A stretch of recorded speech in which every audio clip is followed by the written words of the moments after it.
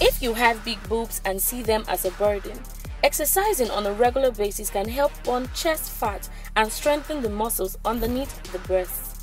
Because the breasts contain a lot of fat, focusing on cardio and high intensity exercises can help burn weight faster and target problem areas. Here are a couple of exercises you can do at the gym or in the comfort of your home. Skipping, running, jumping jacks, pullovers, incline bench press.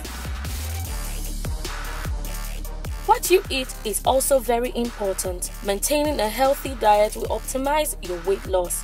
If you need any assistance, feel free to come to Gym Starllion Health and Fitness Club.